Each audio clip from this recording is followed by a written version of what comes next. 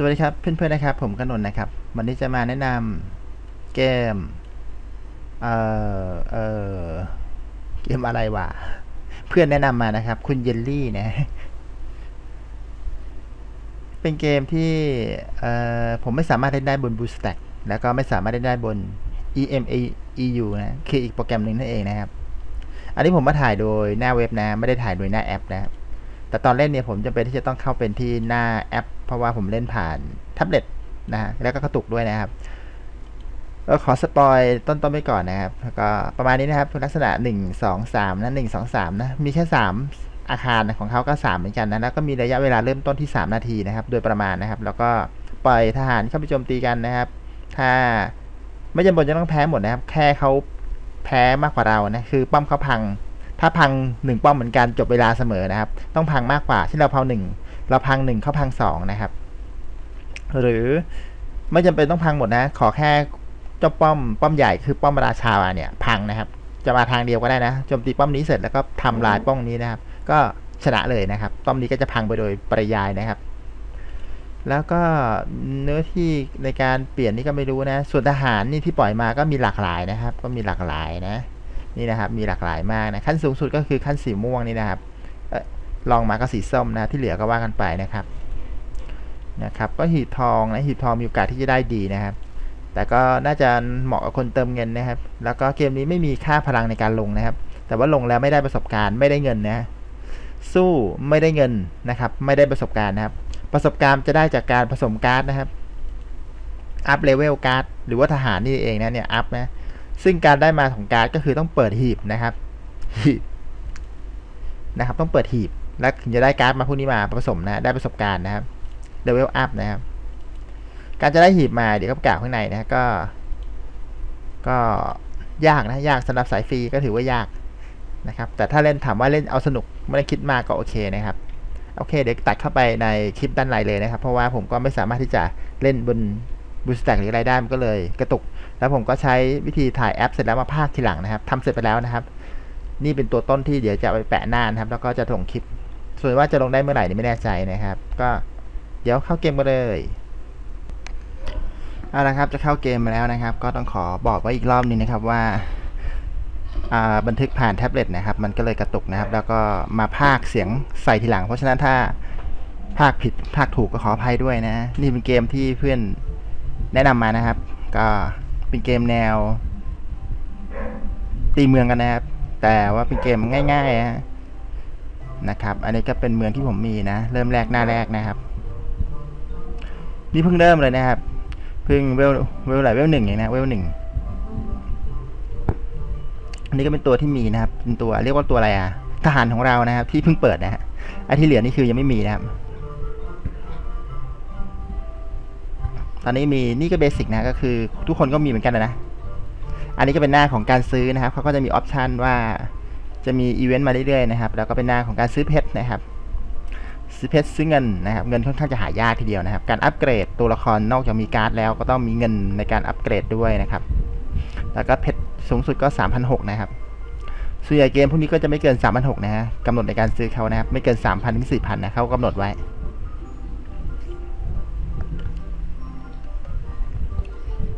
ส่วนอันนี้ผมไม่แน่ใจหีบ เอาไว้เพื่อเพิ่มการเปิดหีบหรือเปล่าไม่รู้นะ เพราะว่าตอนนี้หีบเราเปิดได้แค่หนึ่งนะครับ ได้แค่ทีละหนึ่งใบนะ อันนี้ผมทิ้งเอาไว้โดยไม่เปิดนะเดี๋ยวจะเปิดให้ดู ความจริงมันเปิดได้ นี่เป็นหีบไม้ในก่อนเริ่มแรกนะครับ เขาจะมีด่านอีเวนต์ให้ให้เราเล่น เริ่มแรกเจ็ดด่านนะครับ เขาจะให้หีบพวกนี้มาหีบ ก็เปิดก็ได้ทองนะครับ ได้ยากนะครับ แล้วก็ได้เขาเรียกว่าอะไรการ์ดนะครับ การ์ดเพื่อเอามาผสม เป็นการที่สูงขึ้นนะครับ ตัวทหารเราก็จะเก่งขึ้น skill ธนูอะไรพวกนี้นะครับ แต่ว่ามันให้เปิดแค่ครั้งละครั้งละหนึ่งหีบเท่านั้นเองในการที่เปิดปิด อย่างเช่นหีบทองนะครับ ใช้เวลา 8 ชั่วโมงนะครับ หีบเงินใช้เวลาเออสามชั่วโมงนะนานมากไอ้เมื่อกี้ที่ผมว่าไม่รู้ว่ามันใช้เพื่อเพิ่มช่องในการเปิดหรือเปล่านะ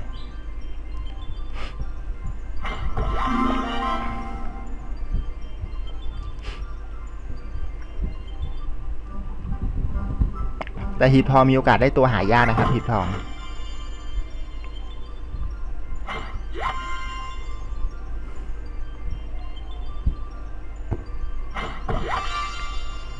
หีบไม้เดี๋ยวหมดแล้วล่ะ ไม่มีแล้ว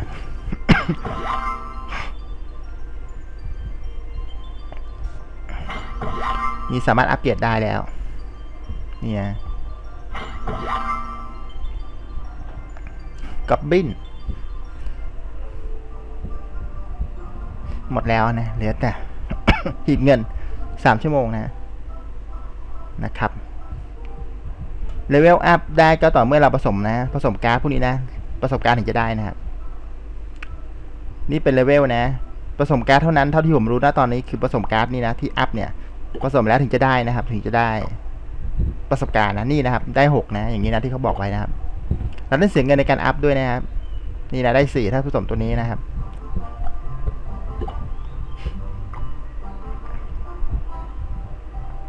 เสียเงินด้วยห้าสิบนะ หาหาไม่ง่ายเลยนะเงินนะครับหายากนะครับ สู้ไม่ได้นะครับเงิน ได้เลือดเพิ่มอะไรก็ว่านไปนะทหารเขาเก่งขึ้นนะนี่นะได้ประสบการณ์มานะครับเพิ่มเลือดเอ้ยเพิ่มประสบการณ์เลเวลนะครับ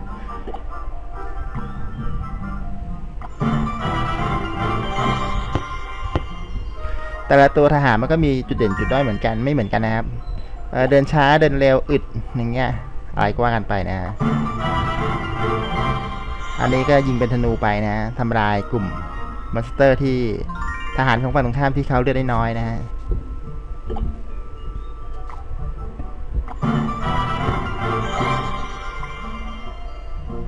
อันนี้ก็ไล่ up ไปเฉยนะครับ ไม่มีอะไร เห็นมันจะให้เวลก็เลย up ให้หมด นี่นะครับได้เลเวลแล้วนะ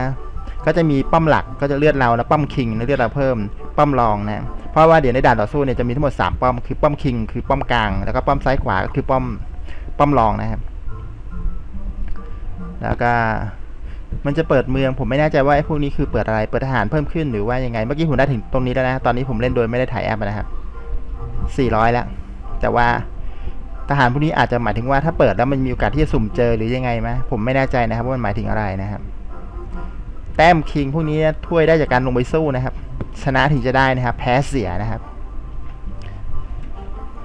เมื่อกี้ผมชนะ 30ใช่ได้แพ้เสีย 11 อันนี้เป็นของคนอื่นนะครับคล้าย ๆ กับว่าคนอื่นเขาสู้กันนะครับ เราก็สามารถที่จะดูได้นะเขาจะมีพวกแรงสูงๆมาให้เราดูนะครับ ว่าเราที่จะเลือกชมก็ได้นะครับเข้าไปชม นี่เป็นหีบทองนะครับ นี่ผมกดที่ดาบนะเมื่อกี้เข้ามาสู้แล้วนะนี่นะครับ การสู้เขาจะสุ่มให้สู้คนอื่นนะครับ สุ่มนะครับนี่นะนี่คิงนะป้อมคิงของเรานะฮะอันนี้ป้อมรองนะครับ การที่จะชนะไม่จำเป็นจะต้องโจมตีป้อมป้อมหมดนะขอให้แค่คิงตายนะชนะเลยนะแล้วก็จะมีพลังนะครับนี่นะครับเป็นคล้ายๆ กับว่าคริสตัลในการลงใช่ไหมแล้วว่าแต่ละตัวก็จะมีค่าพลังที่จะต้องลงนะครับ ใช้เท่าไหร่ถึงลงได้นะ อันนี้เป็นระยะเวลานะครับ ระยะเวลา เดี๋ยวหมดแล้วมีต่อเวลาด้วยนะ ผมไม่รู้ว่าหลักเกณฑ์ในการต่อเป็นยังไงนะและนี่เป็นป้อมที่ได้ ถ้าเราได้แล้วก็จะได้ เอ่อเอาไปเปิดทีบทองนะครับ ด้านนอกนะเอาสะสมไป คือถ้าเราทำลายเขาได้หมดสามเราก็จะได้สามมงกุฎนะครับ แล้วถ้าเขาไม่ทำลายเราเลยเนี่ยเราชนะนะ วัดกันที่มงกุฎนะ เวลาจบนะครับ ก็ใช้ความคิดดีนะครับเนี่ยแต่ว่าผมไปเจอพวก เอ่อเวลสองเวลสามพวกนี้ทหารเขาเวลสี่เวลห้าเงี้ยก็แพ้นะเข้าไปก็แพ้ ระบบมันสุ่มให้เจอนะครับ สุ่มให้เจอพวกเติมเงินก็เจ๊งสิ ไฟเนี่ยสามารถโจมตีป้อมก็ได้โจมตีทหารก็ได้นะครับ อย่างเจ้ายักษ์ใหญ่ตัวนี้เขาโจมตีป้อมอย่างเดียวนะเขาไม่โจมตีทหารนะเขาจะเดินตรงเข้าไปป้อมอย่างเดียว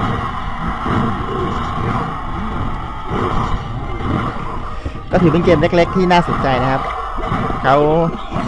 เป็นส่วนขยายของเกมของเขานะ เกมเขาไอ้คราฟอะไรของเขาเนะ่ะ เป็นตัวใหญ่ๆนะฮะ แล้วก็เรียกโจมตีกันใช่ไหมปนทรงปนซับเลยนะ อันนี้เข้ามาย่อนะครับ ไม่มีเล็กลงก็ดีฮะ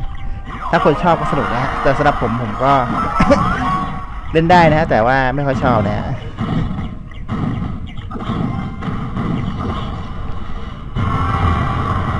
อือหือนี่นะพลังมาแล้ว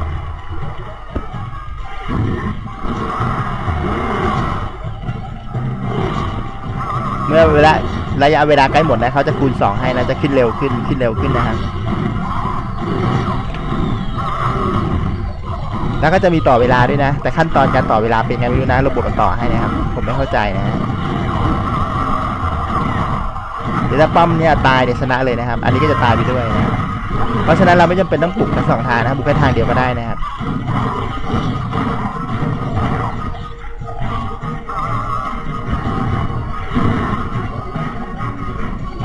เขาก็มาเหมือนกัน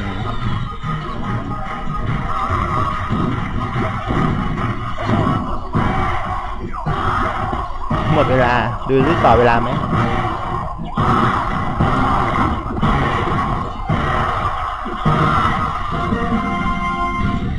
อะจบนะ อันนี้ไม่มีต่อเวลานะครับ จบ ถ้าจบนี่ก็จะดูว่าเขาเสียหนึ่งป้อม เราได้หนึ่งพมกุฎนะเขาไม่ได้นะ เราจะได้ชนะสามสิบนะ ถ้าได้เหมือนกันหนึ่งมงกุฎนี่ก็เสมอนะ ไม่มีใครเสียนะครับ แต่แพ้เสียด้วยนะครับ เสียมงกุฎนะฮะเสียนี่นะครับพลังนี่นะครับเสียนะฮะอันนี้สะสมให้ครบนะครับสิบมงกุฎนะจะเปิดหีบทองได้หนึ่งหีบนะครับ ตอนนี้ผมมีหีบเงิน ผมอยากจะเปิดให้ดูเฉยๆนะฮะเดี๋ยวผมจะเปิดหีบเงินนะ อันนี้สู้ให้ดูอีกรอบนะ สู้หลายรอบอะผมอยากดูระบบนะฮะ แต่ก็มีเท่านี้นะครับไม่มีอะไรแล้วนะครับมีแค่นี้นะในการต่อสู้นะครับ ก็มีแค่สามป้อมนะฮะเพียงแต่ว่าคุณจะมีทหารยังไงเท่านั้นเองนะครับ ก็เพลินดีนะครับสำหรับคนที่ชอบนะครับ เกมเล่นเป็นแนวตั้งนะครับ แนวตั้ง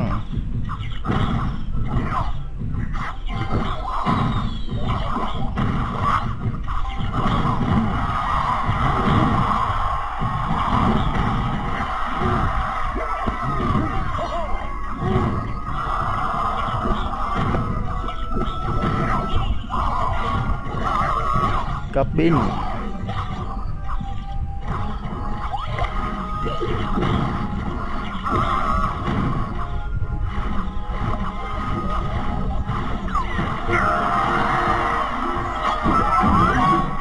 ถ้าเราชนะหนึ่งป้อมไปแล้วเนี่ย เวลาเราปล่อยทหารเราสามารถกินพื้นที่เขาเข้าไปได้นะครับ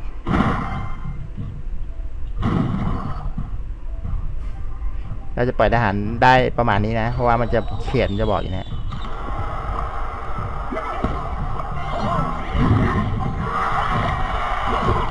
การปล่อยทหารก็แล้วแต่วิธีนะครับทริกใครก็ว่ากันไปนะ ปล่อยมากไปใกล้ๆกันเดี๋ยวมันก็ตายด้วยสกิลนะ อาจจะมีระยะห่างเดินหน้าเดินหลังอะไรคุณก็คิดเอาแล้วกันนะครับ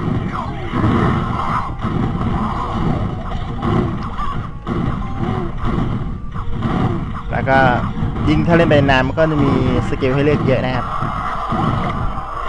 เอ้ไม่ใช่ skill สิ ตัวทหารให้เลือกนะครับ ว่าจะคุณจะเอาอะไร การปล่อยพวก skill ธนูกับไฟเนี่ยมีมีดาเขาเรียกอะไรมีมีระยะเวลาที่มันจะไปด้วยนะฮะเพราะนั้นก็กะให้ดีนะครับ สมมติอากาศตรงนี้นะ ถ้ามอนอยู่เวลาเขาเดินหนีนะกว่าจะ skill จะไปถึงเนี่ย มันก็อาจจะเดินขึ้นที่ออกไปแล้วนะครับ เอาล่ะขั้นสองแล้ว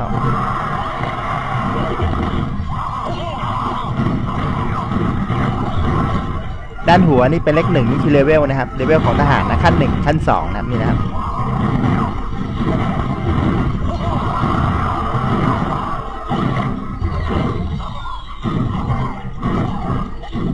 อันนี้น่าจะชนะนะครับอ้าวไม่แน่ส่วนใหญ่ไม่ค่อยชนะเด็ดขาดนะฮะจะชนะแค่ป้อมสองป้อมกับแพ้นะครับ เมื่อกี้แพ้กระจุยเลยเจอพวกเวลสี่เวลห้านะฮะโอ้โห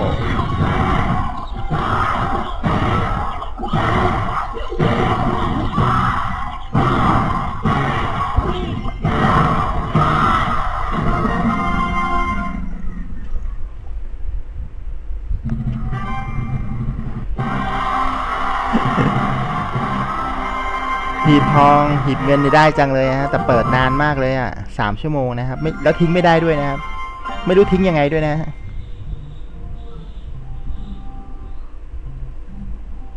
ไม่มีให้ทิ้งด้วยนะครับ อะไรที่แย่มากเลยอะเดี๋ยวผมหาไม่เจอ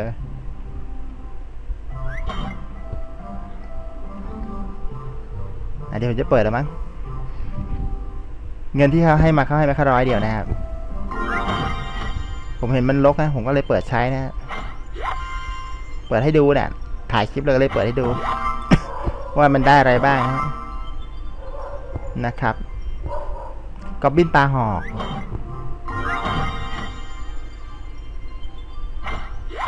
ตอนแรกว่าจะเก็บให้ครบ 200 เพื่อไปลองใช้หีบอีกอันหนึ่งนะ ผมไม่รู้ว่ามันคืออะไรนะครับพวกนี้ก็เอาไว้ผสมนะ ถ้ามันถ้ามันเหมือนกันนะเนี่ยนะครับก็เอาไว้อัพขั้นได้นะครับอัพเป็นเวลสองเวลสามขึ้นไปเรื่อยๆนะครับ นี่นะหีบตอนแรกผมเก็บไปสักครบ200ไว้จะเปิดตรงนี้ ผมไม่รู้มันคืออะไร อันนี้มาซื้อนะครับ ลองซื้อดู อันนี้เป็นอีเวนต์ของเขานะครับเขาจะมีระยะเวลาเมื่อกี้เหลือ 8 ชั่วโมงใช่ไหมถ้าหมด 8 ชั่วโมงแล้วเนี่ยเดี๋ยวเขาก็จะมีของใหม่มาให้นะครับแต่ซื้ออีกไม่ไหวนะสี่วิญญาณสี่ใบมาผสมเป็นเวลสามไม่ไหวก็เลย พอตังหมดนะครับตังหมด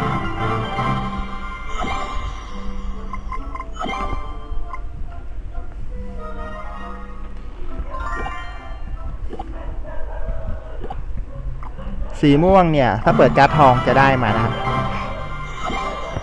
เอ้ยไม่ใช่สิ เปิดหีบทองนะครับ จะได้เป็นใบสุดท้าย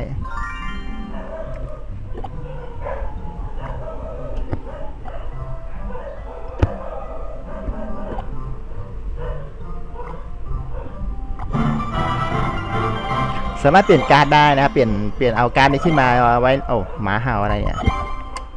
บ้าชอบมาเห่าอะไรตอนที่ นักเขกกระโดกนี่นะเปลี่ยนได้นะครับเปลี่ยนได้นะหรือเปลี่ยนได้ โดยกดที่ u u นะฮะ use use อะไรเนี่ย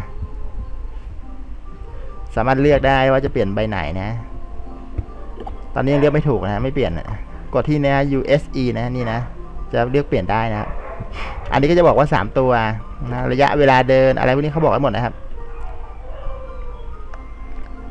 เดินเร็วเดินช้าเป้าหมาย อะไรพวกนี้นะมีเขามีบอก อันนี้การ์ดที่จะมีนะ แต่เราเปิดไม่เจอนะครับ มีหลากหลายนะ เดี๋ยวไปดูพวกเอ่อที่เขาสู้กันได้เยอะนะจะเห็นว่า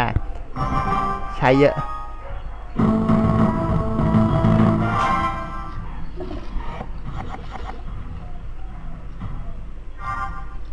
เกมก็สนุกนะฮะแต่ผมไม่ค่อยชอบแนวนี้นะครับ บอกไว้เลย เวลาไปเจอพวกที่เขาเติมตังค์เวลสูงแล้วขาดใจอะเพราะว่าผมเป็นสายฟรีการที่เป็นสายฟรีแล้วอยากจะ อยากจะสู้เขาได้เนี่ยก็คงจะต้องค่อยๆเล่นนะครับ เพราะว่ามันจะมีหีบฟรีให้เปิดข้างบนนะที่หน้าหลักนะสามชั่วโมงเปิดทีหีบเงินนะฮะแล้วก็ยี่สิบสี่ชั่วโมงเปิดหีบทองได้ทีหนึ่งก็อาจจะต้องค่อยๆสะสมไปนะครับ หรือว่าก็หาหีบมาเรื่อยๆนะมาเปิด ไอ้ที่ให้เปิดหีบด้านตรงนี้สี่ใบเนี่ยค่อนข้างยากมากนะคือมันใช้เวลาตั้งสามชั่วโมงนะคือแล้วมันลบทิ้งไม่ได้ด้วยเพื่อจะรอหีบใหม่ คือมีโอกาสที่จะได้หีบทองนะเราก็ อยากจะลบทิ้งใช่ไหมไอหีบเงินที่ไม่ใช้เนี่ย มันไม่มีคำสั่งให้ลบทิ้งไงถ้าที่ลองดูเมื่อกี้นะครับ ถ้ามีต้องขออภัยด้วย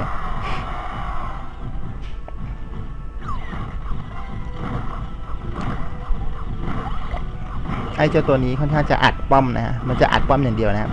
แต่นี้เป็นตัวเบสิกนะฮะเป็นตัวเบสิกที่เขามีให้นะครับ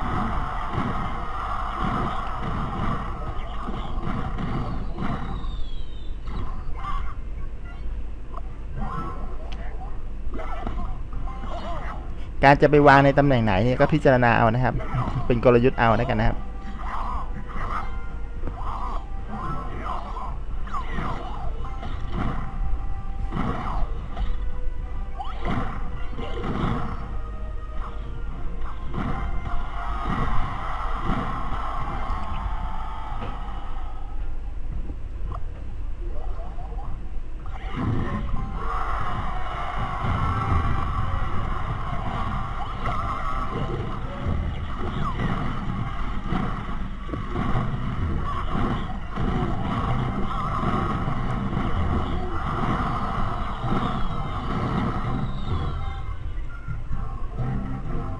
เกลี้ยง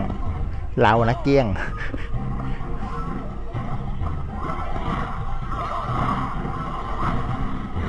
เกมก็ค่อนข้างจะเร็วนะครับ เพราะว่าก็ถือว่าไม่นานประมาณสักไม่เกิน 5 นาที 2 นาที 3 นาทีนะ มีต่อเวลาด้วยนะบางครั้ง ก็ไม่รู้มันเอากฎเกณฑ์อะไรมาคิดในได้การต่อเวลานะ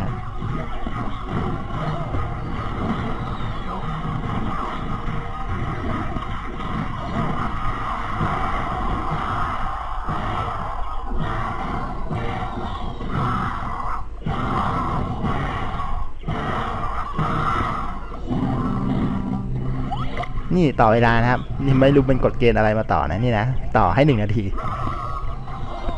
หรือว่ายังไม่มีผลได้เสีย หรือยังไงนี่ผมไม่รู้นะ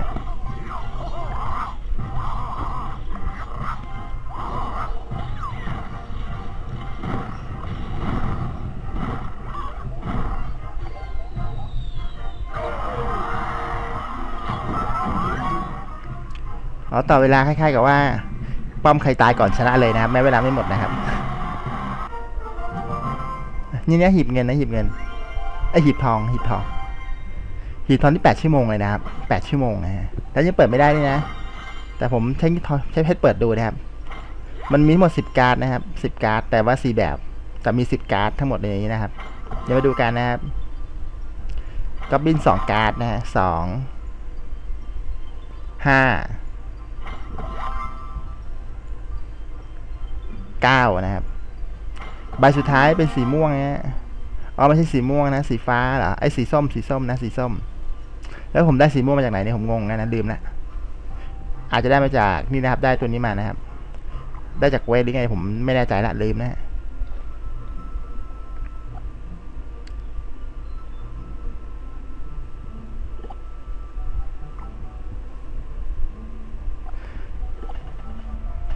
ก็ประมาณนี้นะครับสำหรับคนที่ชอบก็เล่นเอานะแต่ผมไม่ค่อยชอบนะ ก็คงจะไม่ได้เล่นอะไรมากมายนะ เพราะว่าดูแล้วบังคับให้เติมตังค์นะครับ ถ้าไม่เติมตังค์คุณก็ต้องรอที่จะให้หีบมันเปิดนะครับ เพื่อที่จะสะสมการ์ดเรื่อยๆนะครับ แล้วก็หีบที่เปิดหน้าแรกเนี่ยบังคับให้เรามีแค่สี่ช่องนะ แล้วก็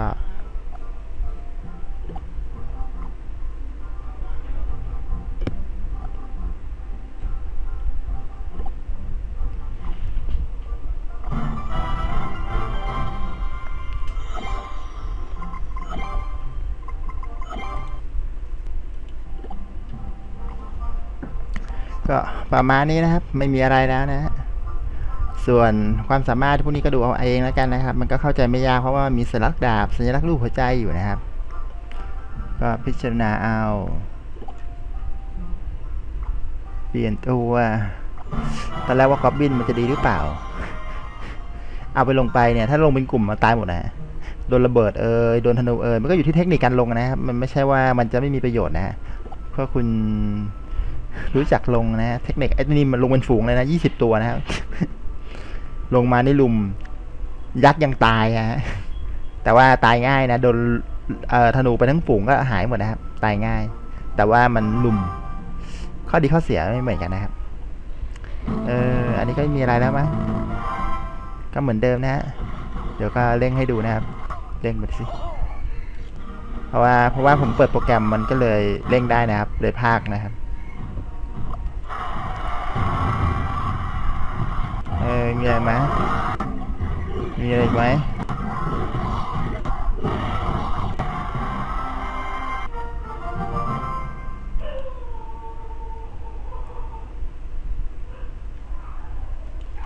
อ่าล่ะนี่เป็นอีกตัวหนึ่งที่ทำไว้ต่อคือผมไปเก็บ ไปเก็บ เอ่อเขาเรียกอะไรอะ ไปเก็บมงกุฎนะครับให้ได้สิบชิ้นนะครับ เพื่อจะมาเปิดอันนี้ให้ดูนะครับ ว่ามันเป็นหีบทองที่เขามีให้เปิดนะครับ อันนี้หีบเงินนะครับ มีให้เปิดสามชั่วโมงเปิดได้หนึ่งหีบนะครับ อันนี้ยี่สิบสี่ชั่วโมงเปิดได้หนึ่งครั้ง แต่ว่าต้องมาเก็บมงกุฎด้วยนะครับจากการสู้นะให้ครบสิบนะครับ เดี๋ยวจะดูกันว่าเขาได้อะไรนะครับ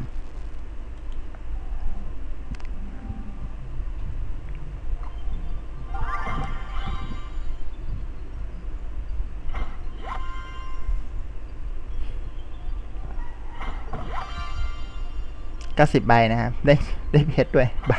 เอามาทำไม ก็บินอีกแล้ว ไม่อยากได้อะ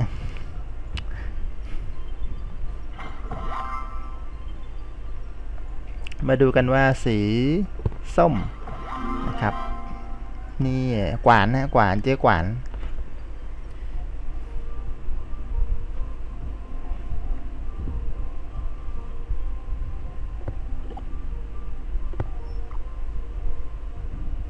ก็มีอะไรนะครับ อันนี้ก็โจมตีขาหมุนรอบตัวนะอันนี้เคลื่อนที่เร็วนะครับเคลื่อนที่เร็ว อาจจะนี้เคลื่อนที่ช้าประมาณนั้นนะครับนะฮะแล้วก็ อันนี้เอาไว้ทดลองนะครับ เอาไว้เปลี่ยนทดลองนะนะครับ คล้ายๆกับว่าคือไม่ได้ไม่เสียนะ ไม่มีได้มงกุฎไม่มีได้อะไรเลยนะครับ เพียงแต่ว่าเอาอาจจะแค่อยากมาลองว่า เวลาคุณเปลี่ยนทหารมาใช้ก๊อบบินใช้อะไรพวกนี้ที่เรามีนะลองเปลี่ยนดูนะครับ แล้วก็มามาสู้ดูทดสอบ เรียกว่าเป็นสนามทดสอบนะครับนะมีกดออกได้ทันทีด้วยนะครับนี่นะครับ ทดสอบเฉยๆนะฮะนี่นะมาเป็นฝูงเลยนะไอ้ที่ผมบอกอะ่ะ ดูเลือดลดนะครับ ถ้ามันอัดนะเลือดลดกระจุยเลยนะ ถ้าไม่ถ้ามันไม่ตายเพราะอะไรนะครับ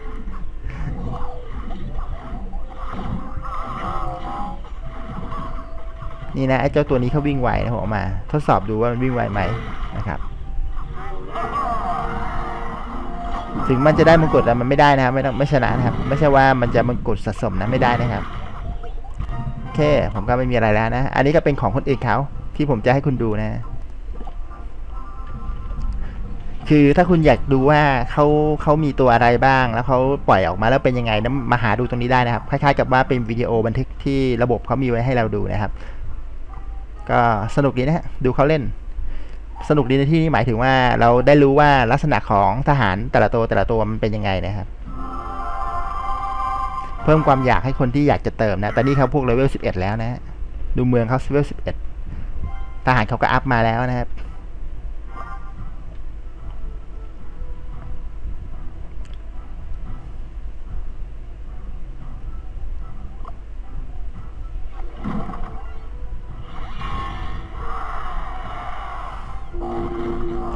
มีป้อมด้วย มีหุ่นยนต์ด้วยมีเวลเจ็ดเวลหกโอมาตัวนี้น่ากลัว มี skill พุ่งด้วยอะ ยักษ์ผมเจอเจ้าตัวนี้สอยอะ มันมี skill พุ่งเข้ามา ตกใจ ตายเลยนะ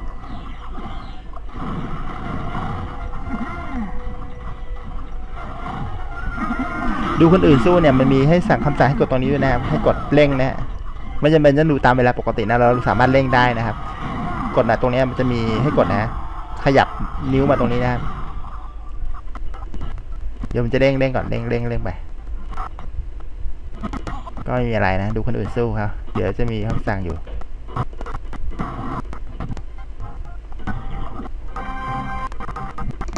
นี่นี่นี่เดี๋ยวจะมี นี่นะคำสั่งมันมีนะ เร่งนะ กด เร่งแล้วเร็วเลยล่ะนะครับ ก็ดูคนอื่นเขาสู้ได้นะครับไม่เป็นไร ก็เท่านี้นะครับ ชอบก็มาลองโหลดเอาเล่นเอานะครับ ติดเครื่องไว้นะเป็นเกมออนไลน์แน่ๆนะครับ เพราะว่าคุณไม่สามารถที่จะ ผมไม่แน่ใจว่าเขาสู้กับระบบ AI หรือว่าสู้กับคนเล่นจริงนะไม่รู้เขาสุ่มแบบไหนนะ แต่ผมว่ามันไม่น่าใช่ AI นะ ผมว่ามันน่าจะสุ่มหาคนเล่นนะครับ การจะแชทก็ต้องมีแต่ภาษาอังกฤษนะครับ สามารถเลือกภาษาในนี้ได้นะ มันมีมันมีภาษาแต่ว่าภาษาไทยไม่มีนะครับ มีประมาณห้าภาษา มีจีนด้วยอะมีจีนเกาหลีหรืออะไรเนี่ย แต่ภาษาไทยไม่มีนะครับ